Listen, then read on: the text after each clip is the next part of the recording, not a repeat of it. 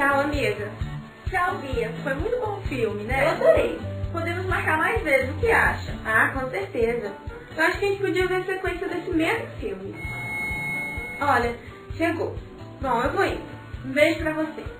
Ei, Bia, espera! Também quero um abraço. Claro. Um beijo pra todas. Já estamos combinando de assistir outro filme.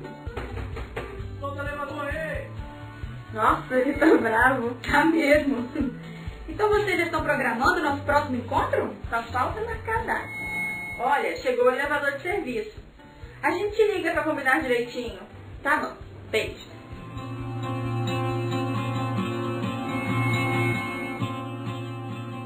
Eu quero saber quem é que estava prendendo a porta. Ninguém. Só demorei um pouquinho. Você tem de aprender que quem manda no prédio são os moradores. Preto e pobre, aqui não tem vez não, minha filha. A senhora me respeita. Cala a boca, você não passa de uma empregadinha, sua macaca fedorenta. Olha aqui, Vocês sabem com quem vocês estão falando? Cala a boca, sua neguinha. Se você falar mais alguma coisa, meta a mão na sua cara. Vocês me respeitam. Eu falei pra calar a boca, sua crioula inútil.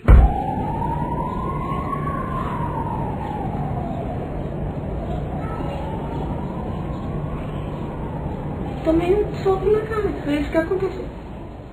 Então, seu delegado, o que é que o senhor vai fazer?